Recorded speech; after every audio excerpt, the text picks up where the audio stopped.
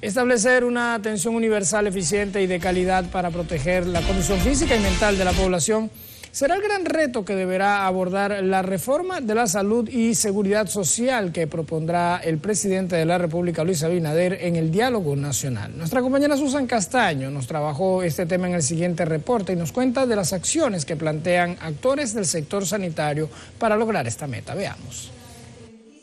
Pese a que el sector salud exhibe grandes logros con la incorporación de millones de personas al Seguro Nacional de Salud SENASA, aún persisten desigualdades en la calidad y cobertura de los servicios. Entendemos que debe trabajarse en un sistema de salud público único, fuerte, organizado, de calidad, que le brinde atención a la población dominicana. Con carácter público rectoreada por el Estado, sin intermediación donde se valore quién financia, que es la población.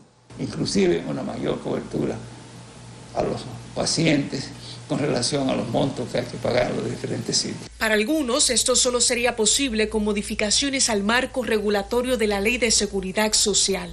Y debe modificarse de una manera tal que los pacientes sean el factor fundamental, pero que no se deje a un segundo plano a los médicos ni a las clínicas. Necesitamos que el Consejo salga de circulación, que las AFP privadas salgan de circulación, que los fondos de pensiones sean estatizados, que Unipago salga de competencia y que las intermediaciones salgan de competencia.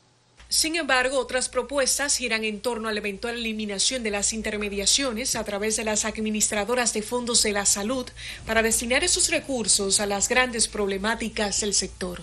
Y hasta que la intermediación en salud no sea quitada de la dirección donde se toman las decisiones, el sector salud estará en el mercado lograr un consenso entre todos los profesionales de la salud en aras de brindar una atención de calidad a la población es otro reto en momentos en que reina el descontento entre diversos gremios en demanda de una serie de reivindicaciones. Eso es una falta de respeto, ofertando un 11% de aumento a los tarifarios cuando hay una inflación acumulada del 90%.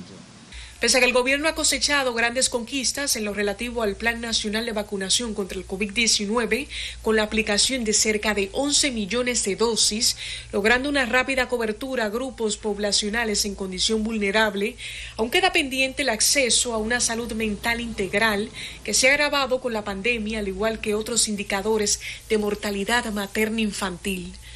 El presidente Luis Abinader informó que para la reforma de la seguridad social han estudiado todas las propuestas presentadas sobre el tema y considera que debe incorporarse a la discusión los puntos positivos y negativos sobre la demanda del 30% de las administradoras de fondos de pensiones. Susan Castaño, CDN.